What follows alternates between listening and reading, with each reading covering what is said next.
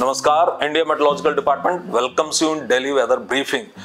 The heat wave conditions over northwest, central, and east India are likely to continue during next three days in isolated pockets with reduced intensity. And the southwest monsoon is likely to advance into some more parts of Karnataka, Rayalaseema, and coastal Andhra Pradesh, and also parts of Bay of Bengal and Arabian Sea during next two to three days. If we talk about the observed weather, so the main observed weather was the heat wave conditions over northwest India and central and east India but if we compare it with the heat wave conditions which were being observed uh, two three days ago then compared to that it is very uh, uh, very small in intensity as well as in distribution over uh, Punjab and Haryana only three to four stations uh, at both subdivisions have been observed in heat wave. And over West Rajasthan only one station of Ganganagar has observed heat wave conditions. And over uh, West UP only one station of Jhansi has reported heat wave conditions. And over West MP only Northwest MP Gwalior has reported heat wave conditions. But over uh, East MP or northern parts of East MP, five, six stations have reported uh, heat wave conditions and uh, uh, three, four stations have reported heat wave conditions over uh, uh, central parts of Vidarbha and also central parts of Chhattisgarh had, has reported three, four stations heat wave conditions and over Daltonganj of Jharkhand over the western parts of Jharkhand heat wave conditions have been reported and similarly over three, four stations of Odisha heat wave conditions has been reported and no severe heat wave conditions have been reported over the entire country. So that shows that how the temperatures which were going up to 49 degrees centigrade have fallen significantly and uh, only some stations uh, have been uh, there above 45 degree over the areas which have been uh, seen here and so this heat wave conditions which has reduced in intensity as well as in distribution is likely to continue during next uh, three days over these regions as we can see over here that the heat wave conditions are likely to continue over Punjab, Haryana,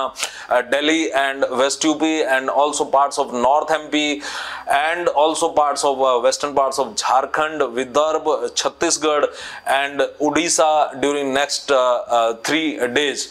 and the due to the higher temperatures and also the uh, humid conditions being observed currently over the Punjab and Haryana and West UP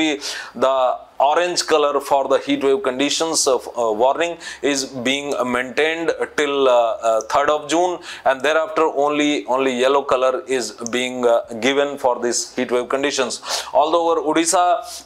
uh, for next four days uh, heat wave conditions with orange color is being given. Although this uh, the heat wave conditions would be primarily observed in northern parts of Odisha only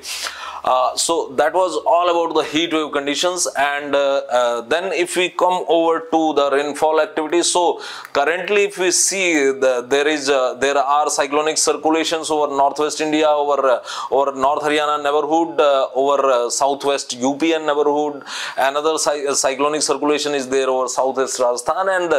and southwesterly winds are prevailing over the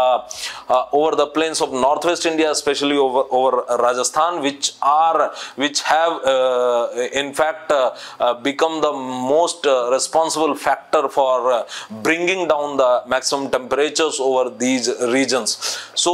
over Rajasthan also the northwest Rajasthan the Ganganagar area may continue to receive heat wave conditions during next two days and this these uh, southwesterly winds from Arabian Sea are likely to continue over the plains of northwest India uh, during next uh, 5 to 7 days and we are expecting a western disturbance from 4th of June and this western disturbance along with these, these uh, southwesterly winds from Arabian Sea are going to cause isolated rainfall activity over Rajasthan, over Punjab, Haryana, Delhi and West UP uh, during uh, 4th June to 7th of June along with the, the thunderstorm activity as well as the uh, gusty winds may also be there of the order of 30 to 40 kmph uh, over this region of Punjab, Haryana, West, uh, uh, West UP and northern parts of Rajasthan during 4th to 7th of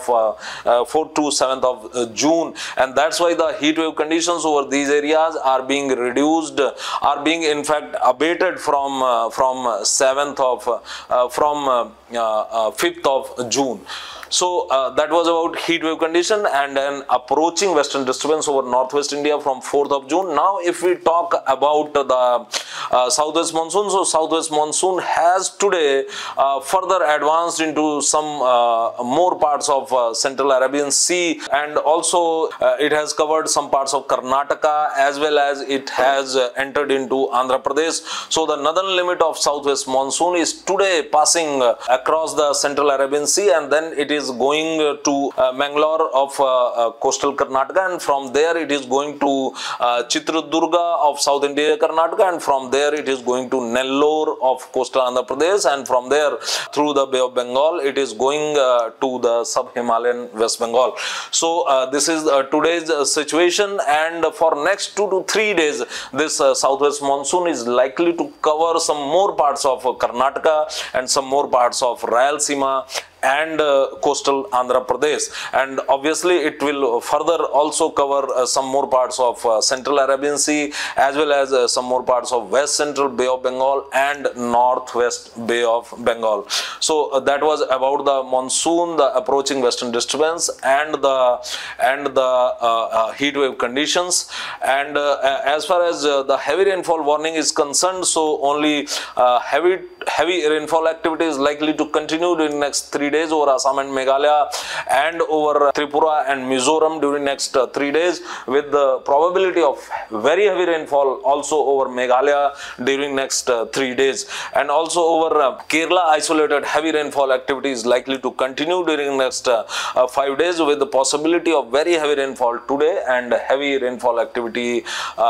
thereafter for next for subsequent four days. And isolated heavy rainfall today is also likely over South Interior Karnataka Karnataka and coastal Karnataka and over Tamil Nadu. And thereafter, uh, the, this uh, South interior Karnataka and North interior Karnataka are likely to continue to receive light to moderate rainfall uh, at many places with isolated heavy rainfall during subsequent four days. So that's all for today. Tomorrow we will again meet with daily weather briefing for weather warning during next five days. Thank you and goodbye.